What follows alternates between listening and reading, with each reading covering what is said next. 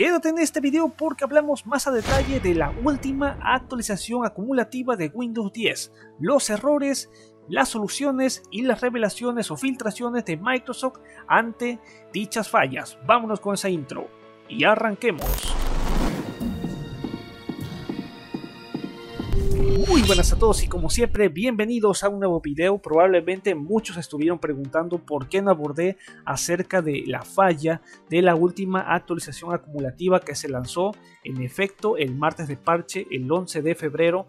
¿Por qué no abordé? Bueno, ya no quise hacer demasiado alarde porque luego dicen que hablo mucho de las fallas de Microsoft y de Windows 10 y bueno, justamente estuve recolectando más información y son los últimos detalles hasta la hora acerca de este error que en efecto presentaron algunos usuarios. Hay algunos que no presentaron esto, hay otros que sí. Y bueno, estos fueron la recopilación por varios usuarios de foros de Microsoft, de AdsWoody, de Twitter y de otros sitios web en los que han dicho que la actualización en efecto, la acumulativa, la KB4532693, en efecto tiene un fallo en el que pues está ahí presentando una pérdida en perfiles tras instalar lo que es ese parche, que más bien, ya como lo dicen los usuarios, tras instalar lo que es la actualización, sus perfiles de usuarios normales no cargan, por ello la configuración de escritorio, los archivos ahí presentes, el estado del menú de inicio y los fondos de escritorio se muestran con la configuración por defecto de Windows 10.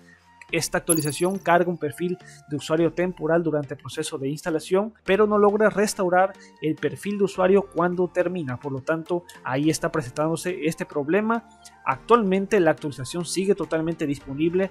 Microsoft ha eliminado hasta el día de hoy cuando estoy lanzando lo que es este video, Microsoft eliminó por completo otra actualización, no esta que está causando el error de los perfiles, quitó otra, ¿por qué? Porque está presentándose errores en usuarios en los cuales, bueno, no puedes reiniciar correctamente o no puedes apagar correctamente lo que es tu computadora y esa sí la removió. Esta, la de los perfiles, aún no lo ha removido y de hecho Microsoft hasta la actualidad en su sitio web donde habla más a detalle acerca de esa update, las soluciones, todas las correcciones, únicamente también hizo a destacar los fallos en la build la 183.63.657 donde tiene un fallo que afecta las imágenes de contenedor de Windows Server. Por lo tanto, eso también fue retirada. Y bueno, no habría muchísimo más que destacar. No me considero fanboy de Microsoft y de Windows 10. Siempre destacamos lo que son los fallos y también las novedades. Pero hay que destacarlo. Siempre Microsoft no va a alardear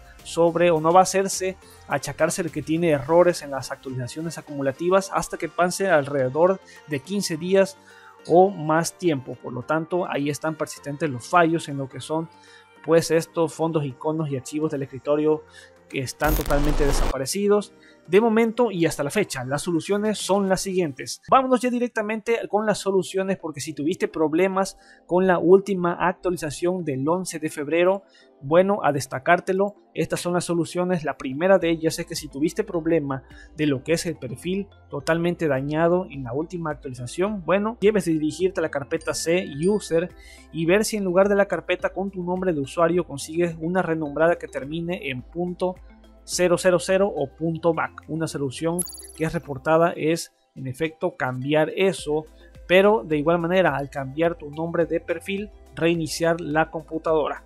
Reiniciarla varias veces, eso te ayudará a solucionar lo que es el problema, ha sido destacado en foros. Y bueno, también la de restaurar el perfil de usuario desde el editor de registros, aunque sin duda es mucho más detallado y esto bueno, obviamente terminaría en un caos en lo que es el sistema, si es que eso no se recomienda.